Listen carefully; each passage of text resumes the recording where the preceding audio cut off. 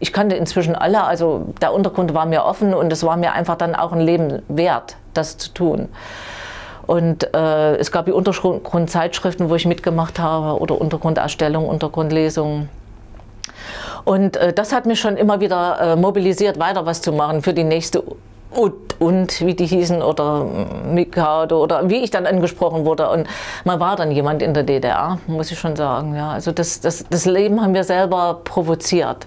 Ja, also wir haben das selber initiiert. Ne? Ich habe in Erfurt äh, Frauen haben dann gemerkt, da ist eine, die macht ihr Ding und äh, äh die wollten auch so leben, die wollten sich auch ausprobieren. Das, die wollten auch sich selbst äh, von oben bis unten äh, leben, kennenlernen und benähen oder weiß ich was. Oder eben so verschrien sein wie ich. Es ist ja nicht nur negativ, wenn man verschrien ist. Es war auch ein Leben, ne? ein Lebensentwurf, den ich dargestellt habe. Und da sind dann viele Frauen hier in Erfurt zu mir gekommen und wollten mitmachen. Und dann haben wir die Künstlerinnengruppe gegründet. Wir, wir haben unsere Sachen selber genäht. Wir haben Performances entwickelt. Ich habe Fotoausstellungen vorher gemacht äh, und Filme gemacht, aber wir haben dann äh, als Frauengruppe auch Filme gemacht, Super 8 Filme. Wir gingen zu den Super 8 Festivals, die es plötzlich gab in der DDR. Also wir haben so eine eigene Welt schon entwickelt mit dieser, äh, mit dieser Untergrundqualität, die Freiheit bedeutete. Und äh, damit habe ich gelebt. Ja. Also ich, ich habe mit dem, was ich geschrieben habe, schon meine Abnehmer gehabt. Ja. Also Untergrundzeitschriften ähm, und, und auch Untergrundfestivals mit den Super 8 Filmen.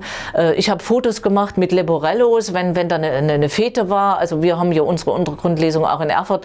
Die haben wir das äh, äh, äh, getarnt und haben gesagt, das ist eine Taufe oder das ist ein Geburtstag. Ne? Dann nahm ich meine Fotos mit, machte die mit Reißzwecken an, an die Wand und da gab es Lesungen, da gab es Filme.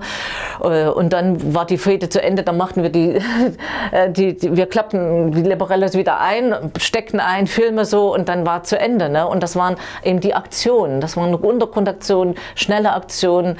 Ähm, äh, wir haben äh, teilweise äh, Brief mit, mit, mit selbstgemachten Einleitungen, das einge, äh, angekündigt, ne, das Fest. Dann wussten alle, das ist nicht nur das Fest, sondern viel mehr. Und so wurde das in Erfurt gemacht, so wurde das in anderen Städten in der DDR gemacht. Und so haben wir uns dann praktisch gelebt in dieser Zeit. Ja.